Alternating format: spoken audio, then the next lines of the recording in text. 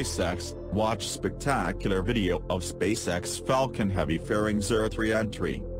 SpaceX has released an awe-inspiring video of its Falcon Heavy rocket burning bright blue while re-entering Earth's atmosphere from space, SpaceX CEO Elon Musk has announced. SpaceX has released an incredible new footage capturing the surprisingly beautiful re-entry of its Falcon Heavy reusable rocket. The descent of the SpaceX Falcon Heavy payload fairing occurred soon after the enormous rocket's launch late last month.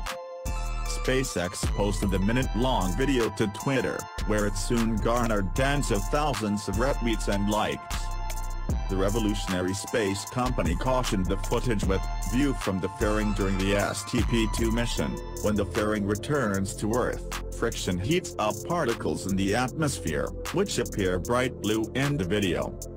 Payload fairings surround and protect satellites during the rigors of blasting rockets into space. This protection becomes redundant after rockets leave Earth's atmosphere, so these fairings are discarded and fall back to Earth.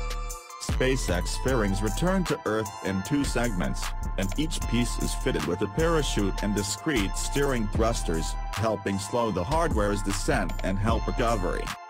SpaceX is keen to reuse these fairings as the combined cost of both halves is worth approximately $6 million, 4.8 million pounds.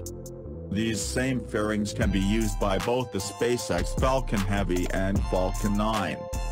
Recovery efforts now involve SpaceX's net-equipped boat, previously named Mr. Steven but now known as GOAM apostrophe S.3, which catches fall fairings.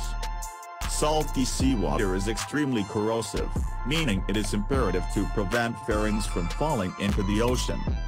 The SpaceX boat was yet to be successful in performing this ambitious feat prior to the June 25 Falcon Heavy launch and we can now enjoy the historic catch, thanks to video captured from apostrophe S.3 and shared by Elon Musk on social media.